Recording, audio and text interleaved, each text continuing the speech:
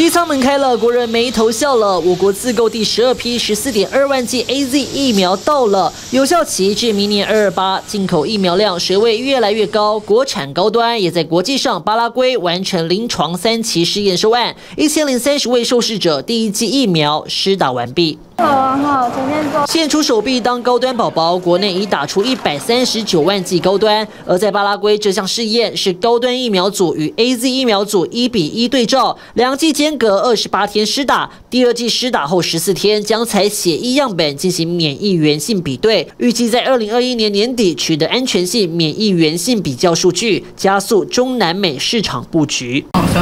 打疫苗除了是提升保护力，也是国内外畅行无阻的通行证。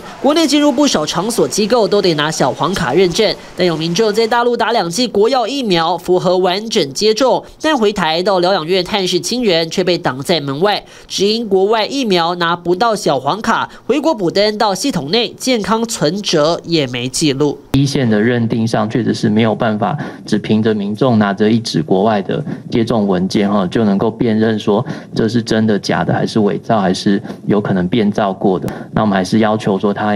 建议还是要按照这个我们的规定，减负三日内的这个筛检阴性的证明。居家快筛很方便，虽多一道手续，也非不能探视。至于未来是否将国外疫苗接种记录导入健康存折，指挥中心将持续演绎。TVB 新闻综合报道，请支持 TVBS 国际 Plus 全新频道，让您扩大视野，掌握趋势，接轨全世界。恳请订阅，开启小铃铛。